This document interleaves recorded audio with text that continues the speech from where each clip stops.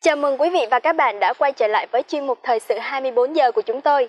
Hy vọng quý vị và các bạn sẽ cập nhật được những thông tin thật hữu ích. Đừng quên like và chia sẻ để ủng hộ cho chúng tôi.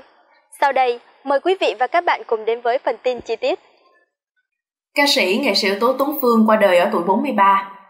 Trưa nay ngày 7 tháng 10, ca sĩ nghệ sĩ tố Tuấn Phương qua đời tại Bệnh viện nhiệt đới Trung ương sau hơn 3 tháng chiến đấu với căn bệnh viêm màng não, hưởng dương 43 tuổi.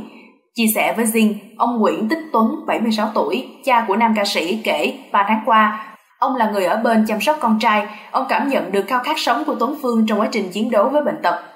Ông mong con trai có thể duy trì sự sống đến ngày 14 tháng 10, đúng dịp sinh nhật anh, nhưng cuối cùng đã không thể vượt qua. Tăng lễ của anh sẽ được tổ chức tại Bệnh viện 354.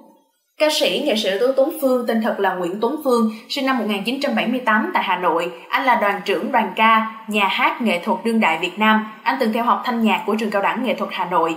Sau khi tốt nghiệp, Tuấn Phương đầu quân cho đoàn ca múa Tổng cục Chính trị, sau đó là nhà hát ca múa nhạc nhẹ Trung ương, này là nhà hát nghệ thuật đương đại Việt Nam.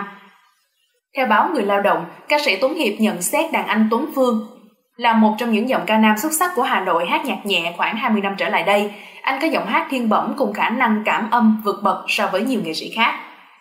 Tuấn Phương từng giành huy chương bạc với tiết mục Đôi chân trần tại Liên hoan nghệ thuật Ba nước Đông Dương năm 2007, huy chương vàng tại Hội diễn ca múa nhạc chuyên nghiệp đợt 1 năm 2009 với tiết mục Son được tặng danh hiệu nghệ sĩ ưu tú năm 2018.